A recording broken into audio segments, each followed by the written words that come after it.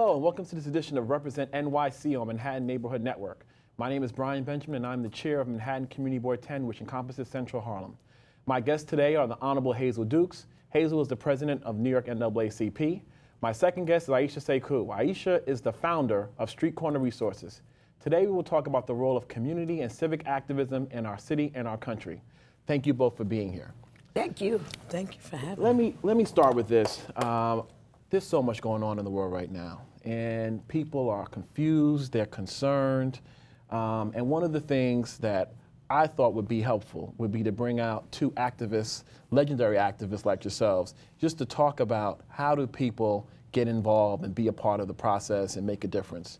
And so let me start with you, Hazel. If if you can talk a little bit about your background. How did you get started um, in in civic activism, and, um, and and and just kind of walk us through your background and what you've been up to? Well, I'm a Southern by birth. Okay. Born in Montgomery, Alabama, which have much history. Uh, one of the things that people don't know about me that Miss Rosa Parks was my Sunday school teacher, and also she was secretary of the NAACP. So in the South, you start off with family, the church, and the community. So I came uh, when my dad moved and uh, my parents moved to New York. I already had a foundation there. Uh, my freshman year, I went back to Alabama State, which is my family traditional school. It's Alabama State University now, but it was the Alabama State Teachers College. And so my families are all teachers, uh, men and women on both sides. And so I had a of understanding. My father also was a Pullman porter. Uh, I saw E.D. Nixon as a child, and I saw Mr. Randolph as a child. That's how we came north by my father being. I rode on a train that I was behind the curtain. My dad had to wait in the uh, room, waiting room with the whites. And so I, it was ingrained in me at Alabama State, uh, all black school, segregation was there uh, a young man came to Alabama State about voter registration, and he said something that really struck with me. He said, Now, don't let anyone tell you you shouldn't be involved in politics and be involved in your community.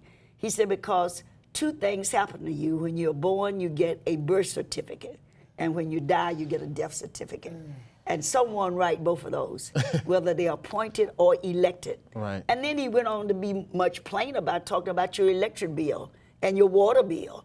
And so that kind of got to me. And as my mother said, I was my daddy's child anyway. I all I was nosy. I wanted to know what people was talking about.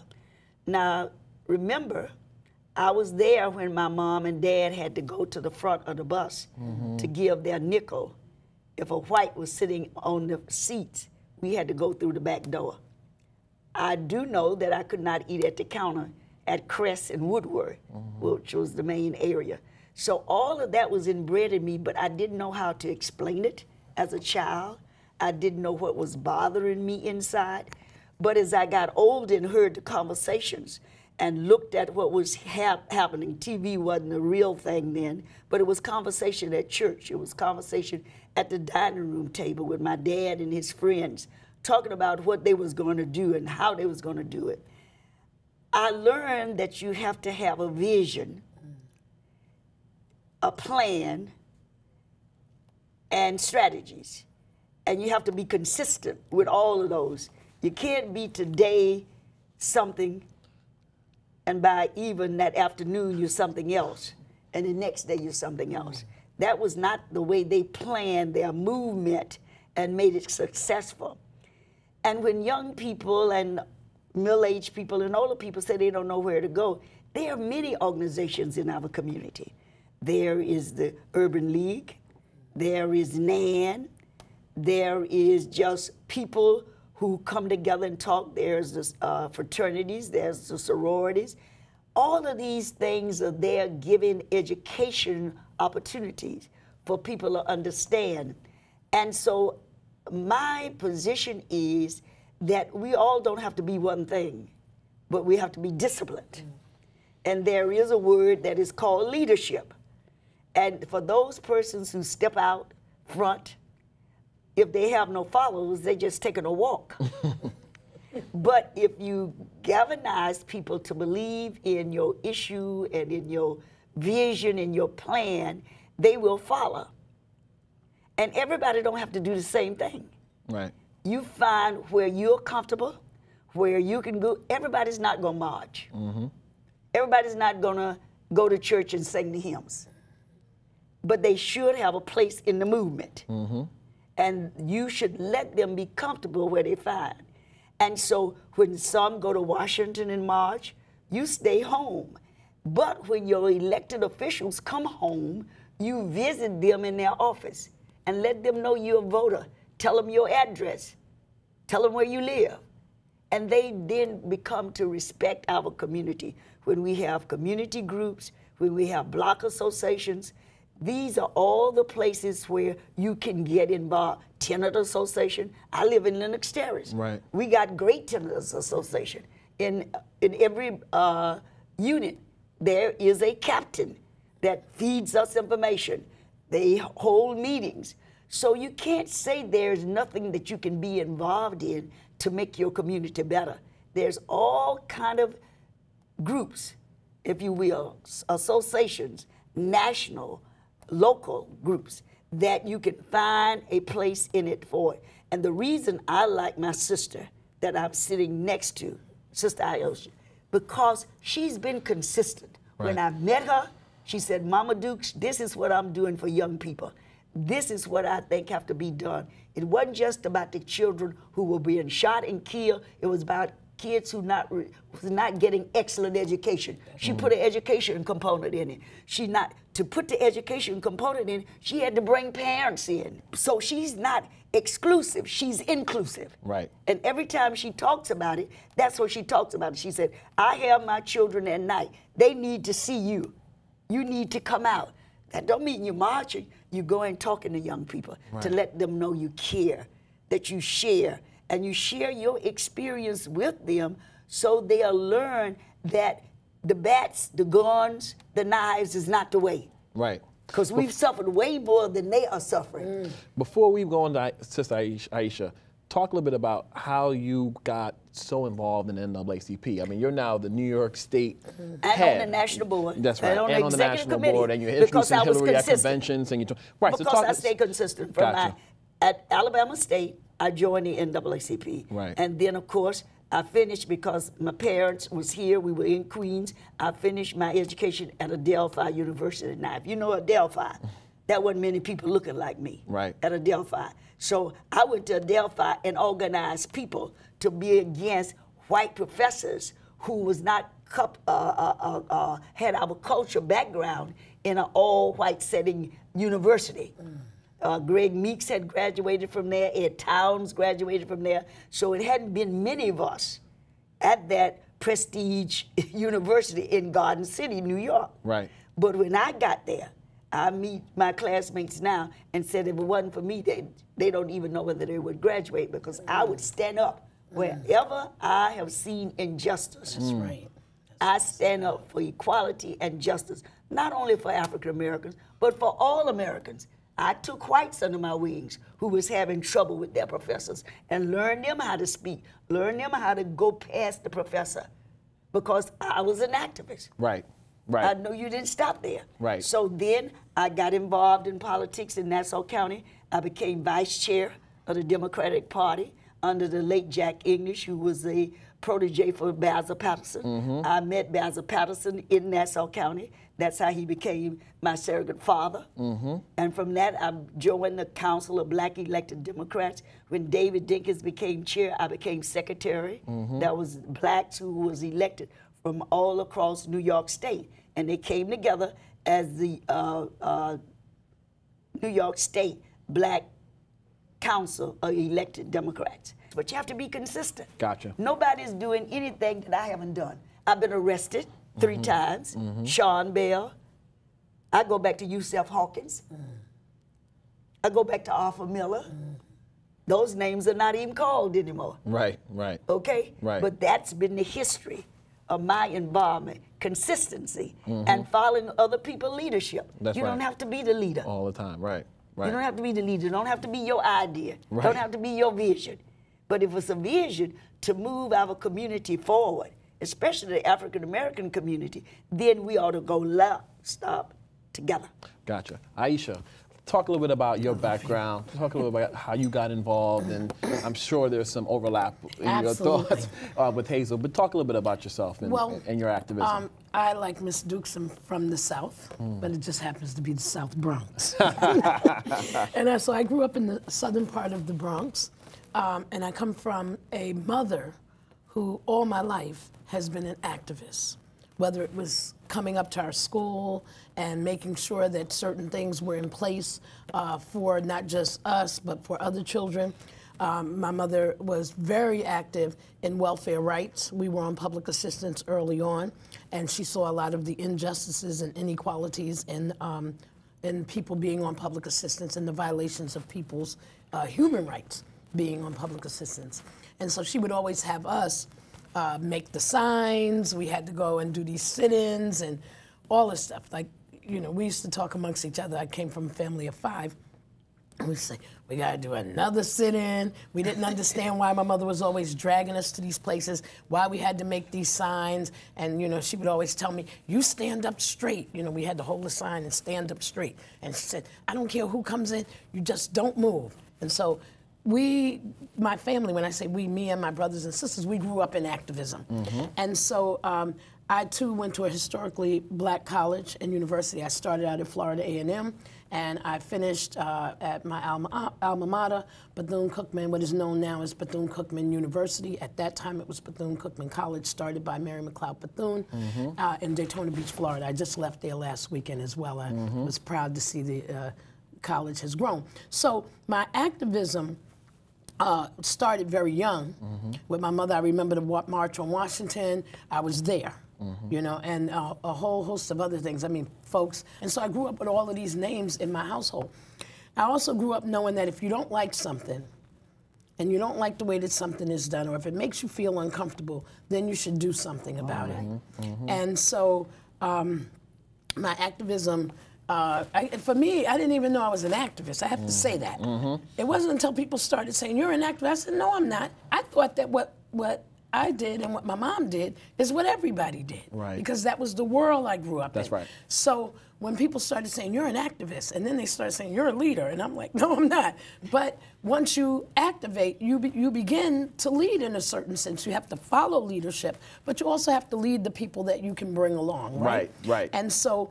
Um, I'm really proud that a lot of my activism is around police issues and around uh, the issue of violence and education.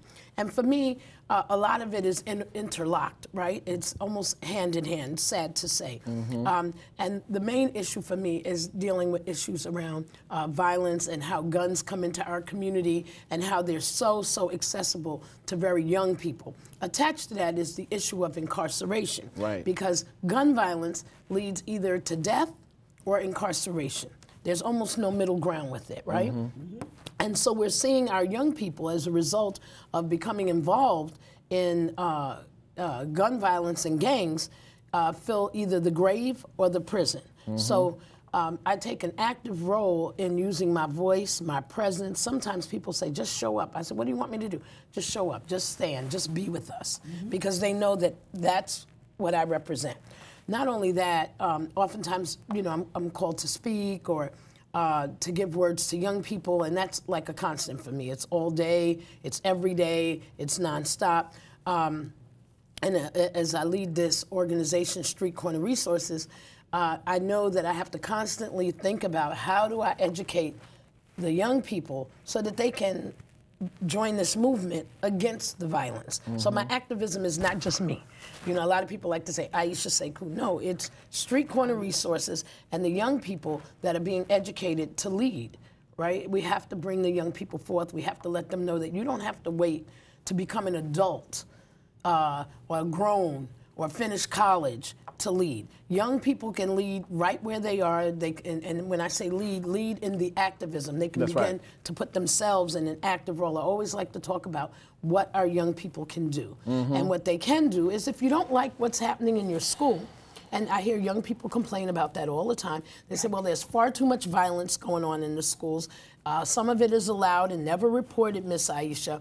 Um, we don't really have a chance to have uh, a full class because people are fighting and bullying and acting out, and most of the teachers' time is spent with discipline. Then I said, you know what? Then you need to call a meeting with the principal mm-hmm. and ask that some order be brought to your school. And it right. doesn't mean that po- more police in school. It means that those problems that are causing or allowing the violence have to be fixed. So our young people, I'm saying that to say yeah. that within uh, our community and our education system, young people can activate their voices. They can use uh, their presence. You know, we do uh, something called a lie-in, and we've been in Harlem uh, doing lie-ins since around 2008. Uh, I think we did the first one with gangbangers. Right. And these are guys who were uh, former shooters, gangbangers, jumping people, uh, creating havoc in the community, and they said, we want to make things different. And so they joined me in a, li- a lie-in where we laid down on 129th Street and Lenox Avenue, right in front of Jacob's Restaurant. Actually, they let us use their electricity for the microphone. We had young people come from Eagle Academy, all the surrounding high schools, FDA and others, and we called for peace in that area because right. there had been so many shootings. And I bring that and raise that because people say, well, you know, what about education? All of these things and all of these young people who activated came from a school. And this was part of their education process. The teachers who brought them, the principals who allowed the, the field trip to happen, uh, allowed these young people to use an active voice to call for peace. And so when I think about ordering the steps of young people, that uh, they can come and meet us on what we call the Occupy. We have something called Occupy the Corners. Mm-hmm. We'll be out actually tonight. We're out. Oh, okay. Um, Where are you going to be? We'll be on 139th and 140th and Lenox Avenue, right mm-hmm. in front of uh, uh, I think it's uh, Fred Samuels Park is right, the name right, of the right, park. And what we know about that park is on both sides of that park, 139th and 140th, between 7th and Lenox, that the majority of the shootings in Manhattan have happened on the sides of those parks. Now, there's That's the park is in the center on both sides of the street. The shootings have happened over the last three years in almost the exact same places. Right. So we saw about, we were 120 days, and when I say we, Street Corner Resources is the um, uh, the recipient of the Cure Violence contract for West Harlem. So Got we're it. really proud of that, which means that we have the job, sometimes very difficult, to uh, keep the shootings down and de-escalate the violence and keep the tension down, right, and break that up. So we were proud that we had 120 days with no shootings until we had a shooting about two weeks ago on 139th mm-hmm. Street, and it was kind of a retaliation, That's revenge right. kind of shooting. So uh, we're 28 days in now. Well, I think it's about 28 days ago that shooting happened. So we're 28 days. Uh, with no shooting, and we'll be out there this Friday. And we have a whole street team, Street Corner Resources. It's mm-hmm. called Speak Peace Forward, mm-hmm. uh, is the name of the team that's part of the Cure Violence contract. And they're young men who have been involved uh, in their past in negative, violent behavior. Right. And they are very adamant about giving back and helping to restore the community to peace. And I have to say, my Dukes has been out there right, on the corners right, with right. us, occupying, being so there with let me ask people. you all a question because one of the things I feel is that I feel like back in the day, Montgomery bus boycott. You know, I felt I feel like activism worked back in the day, and I, and I get and, and you get the feeling that it's like we're, we're it's like the celebrity activist universe we live in now, where it's social media and oh, everyone's absolutely. everyone's I world. Right. Yeah, but, I, you, I, but you have to talk a little bit but about. you have to hear what she said. What she said about the young people, the young people who are in the street speak, are people who was the behavior that was happening in our community. And so she have learned them. You now have to be a part of making our community whole. we around, must have to right. stop the violence. So you go and get the links who I'm in. We go to high schools to get young men. So we work with schools in the area at Harlem Hospital. We mm. bring the young men in once a month with the alphas. We have the brothers mm-hmm. there Right, good mm-hmm. program.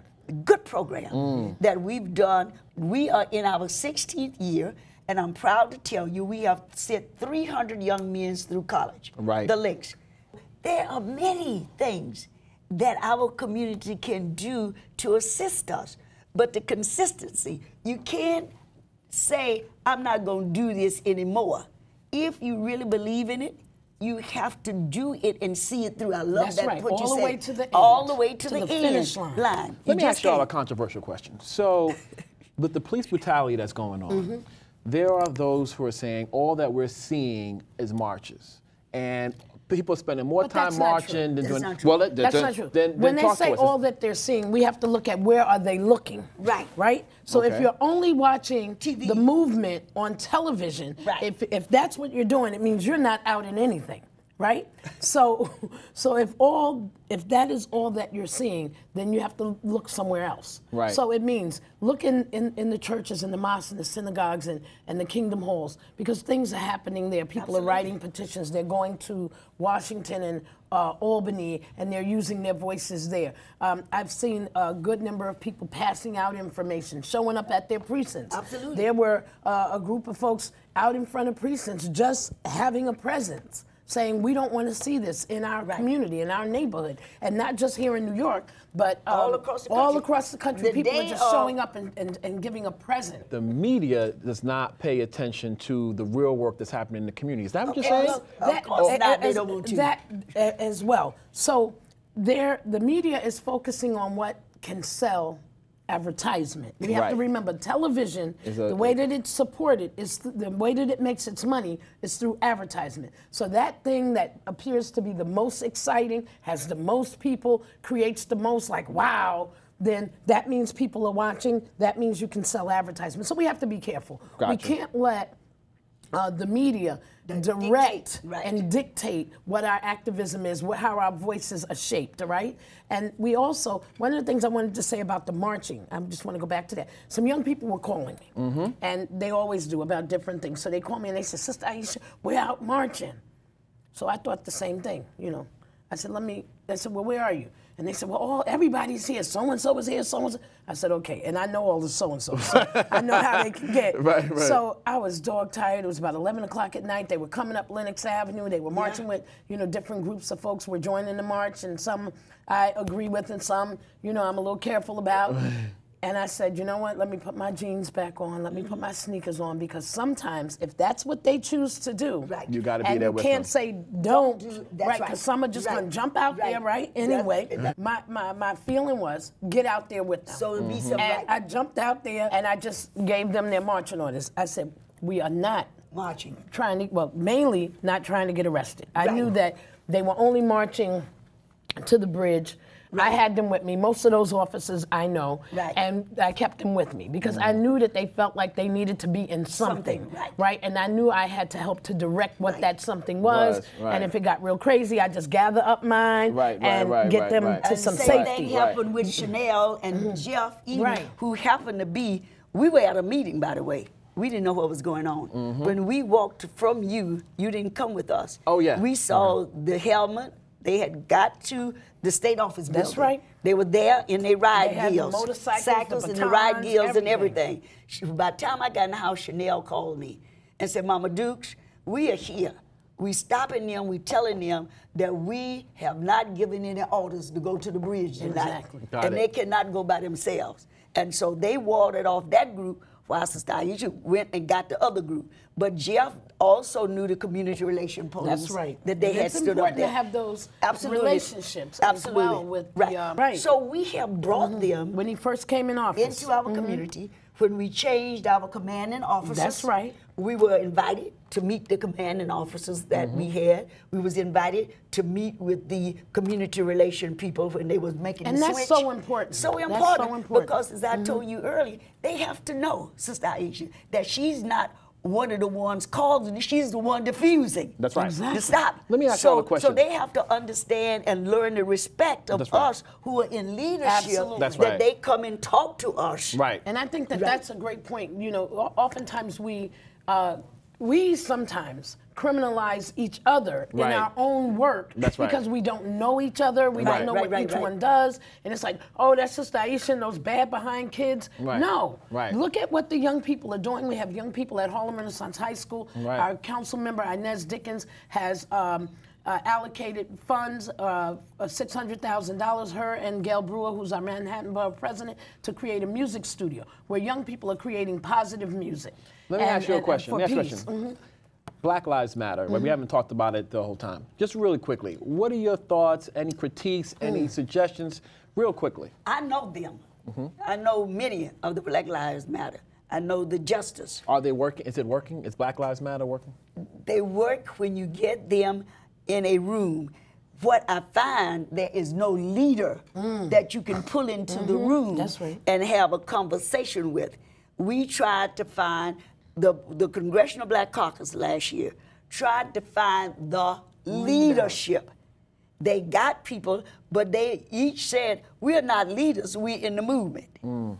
Now, you can't have a leaderless movement. movement. And I think that there goes the problem. So Right. when we talk about Black Lives Matter, I mean, I, I love the activism that I see Right. from them. It's so powerful And and, I'm they're so passionate, And. I've been with and I 'em. stand with them. Right. Definitely. But when you start uh, when you start to look at the way that the movement is being, um, the fiber of the movement is being torn apart by others, it's because the leader has not appeared. Right. Mm, right? And Right. so the leader keeps the ranks tight. Right. And I think what has happened is the ranks have become somewhat splintered. Not totally, but I think that they would benefit from having recognizable leaders, whether it's in each state or mm-hmm. what have you, to, to pull the movement back in. Gotcha. Pull it in, make it tight, make the ranks tight, and keep that passion, keep that activism going, stay in the forefront because it's working, but it can work even better and can be a stronger movement if it has leadership Any last and recognizes the leadership that exists that came before, before them? That's Before major. them. Before The wisdom. That's right. The wisdom. Right. That's right. Right. right. Any last comments? Well, my comment is that I think we are moving in the right direction. I'm pleased to tell you that uh, we work together. That's right. Uh, Reverend Williams, whenever he pick up the phone and call me, Jackie Rowe Adams. That's right. We uh, we know each other. We trust each other. That's right. We respect each other. That's right. We respect each other That's in right, our and that's own major. right, and that's major. That when you get, and that that gives our young people a a, a, a, a clear direction too. That they they've been there, they know what they're saying, and they are on the same page. Mm-hmm. They're singing from the same hymn book. That we are here for you. We're going to protect you. That's right. We're going to be there for you. We're going to be beside you you lead. And we're going to watch us- them and learn, we're and we're going to help them, them learn. We're going to guide. Gu- all and of that. guide them, all of that. And so, but what I like about uh, Sister Iesha in the resource, I've been there. She she invited That's me to right, come. and I love I've it. seen that it's not just about one thing. It's the whole thing, all of the ills that raise up to the point of such frustration that our kids will pick up the gun That's right. and shoot each other. But she's teaching them to love each other.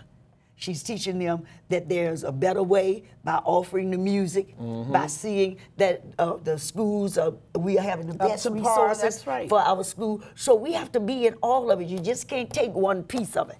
Perfect.